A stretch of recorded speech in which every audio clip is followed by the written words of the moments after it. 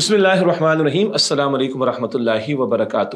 माह रमदान मुबारक की बाबरकत सातें भी हैं और इस वक्त सुप्रीम कोर्ट ऑफ़ पाकिस्तान के चीफ जस्टिस साहब की तरफ़ से मुबारक नामी शख्स के ताल्लुक से कादियानी मामले पर जो एक मुकदमे की तफसीलात चल रही हैं और उसके बारे में रिव्यू पिटिशन का मामला भी है, हम सबसे पहले तो चीफ जस्टिस साहब को मुबारकबाद पेश करते हैं कि एक बड़े अहम दीनी मामले के हवाले से उन्होंने इसको टेकअप भी किया है और रिव्यू पिटिशन का मामला भी चल रहा है और पाकिस्तान के कई दीनी इदारों और इल्मी शख्सियात को उन्होंने ये गुजारिश की थी कि वो अदालत की रहनुमाई करें। और अल्हम्दुलिल्लाह, तमाम मरूफ मकातब फ़िक्र के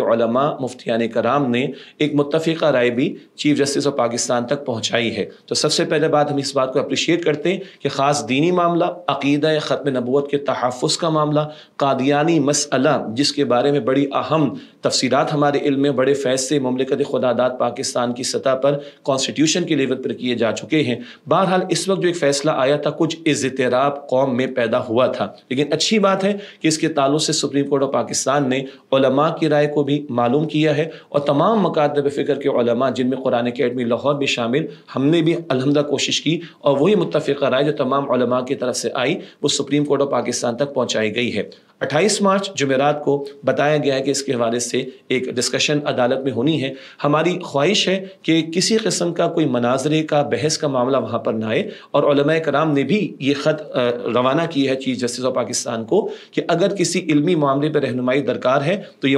मुफ्तियान कराम उसके लिए तैयार हैं। कोई मनाजरे या बहस के मामला ना हो। इल्मी इख्तलाफा को इलमी अंदाज से डिस्कस किया जाए। अलबत् ख़त्म नबूत के अकीदे के तहफ़ का जो मामला है, उसके हवाले से कोई ऐसे फैसले ऐसे ना हो जिससे इस का मामला पैदा हो।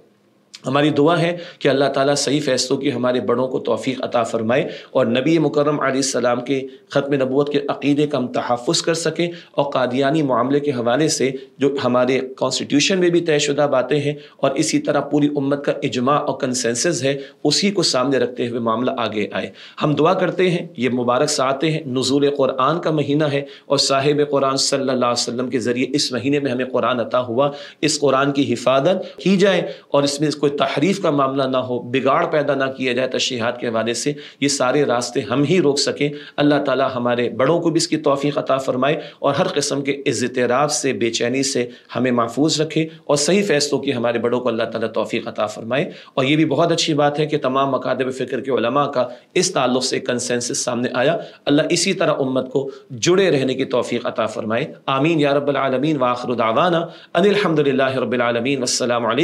वरहमल वबरकू